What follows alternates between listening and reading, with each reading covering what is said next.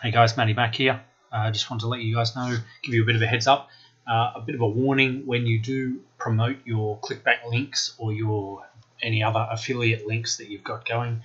Uh, you really need to cloak the links or shorten the links. Um, don't ever post the raw affiliate links because you will, especially if you post them on Facebook, um, you'll get sent straight to Facebook jail. It's not a nice place to be. So just to show you quickly how to cloak your links. Uh, you've got a ClickBank account or whatever other affiliate program you're using, that's fine. Grab uh, your promotion, uh, whatever it may be. I'll just grab one of them here. Doesn't really matter what it is. Personal finance. So whichever offer you're going to promote. So when you do go to promote it, create your own personal ID link. Now this is your raw affiliate link for this promo. Um, you don't want to ever promote this link directly onto Facebook because they'll see that and uh, send you straight to Facebook jail. You won't be able to do anything. So what you want to do is cloak it. Uh, you can, uh, when you do cloak it through certain programs, you can also measure clicks, which is handy for you as well. So just copy that affiliate link, and I use uh, head on over to I use ClickMagick, but there are a bunch of other ones out there uh, like Bitly or uh, Goo.gl. There's a few free ones around as well. So anything as long as it's cloaked, uh, create a new one.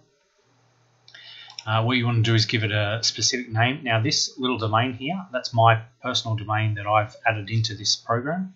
And all I need to do is add the name uh, of the file that I'm promoting and that's all that people will see. So for my reference, I want to give it a name, of course. Uh, so it was personal finance.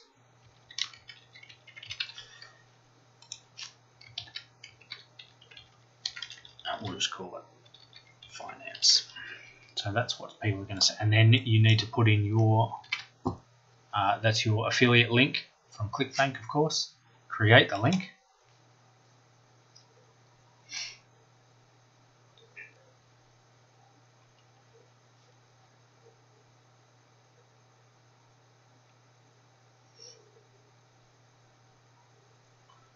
Was called, personal finance. Personal finance.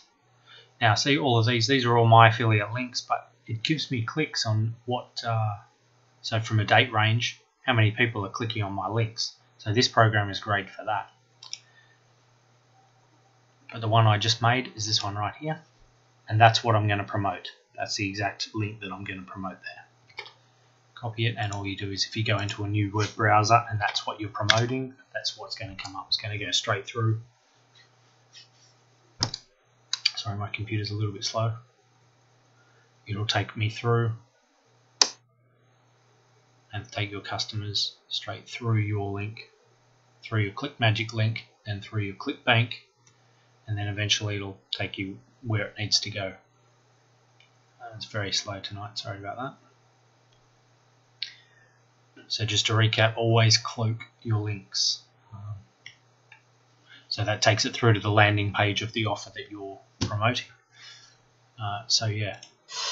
Recently, there have been a number of troubling reports about the app. Always cloak your links, guys.